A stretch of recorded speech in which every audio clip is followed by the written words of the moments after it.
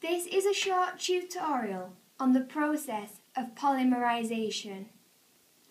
Polymers are very large molecules made when hundreds of monomers join together to form long chains. For many polymers, the monomer that they are formed, formed from is an alkene. Alkenes contain at least one double covalent bond between carbon atoms. The double bond makes them very reactive. In this example, ethene is going to be our alkene. The white balls will represent hydrogen atoms and the brown balls carbon atoms.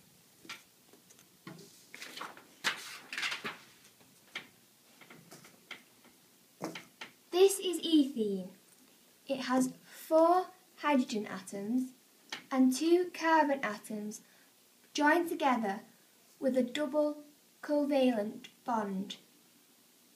This molecule is a monomer.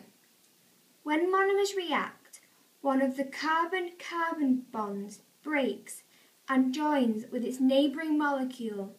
The resulting molecule is a polymer, like this.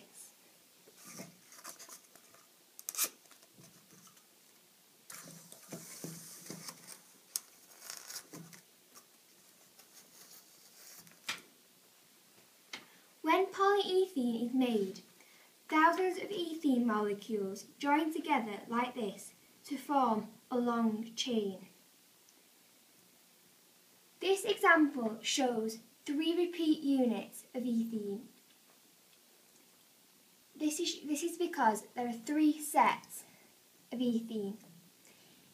In an exam, however, you would not draw this you would draw the shorthand method of showing polyethene. Like this. The N means that the polymer contains a very large number of the repeating units shown in the brackets.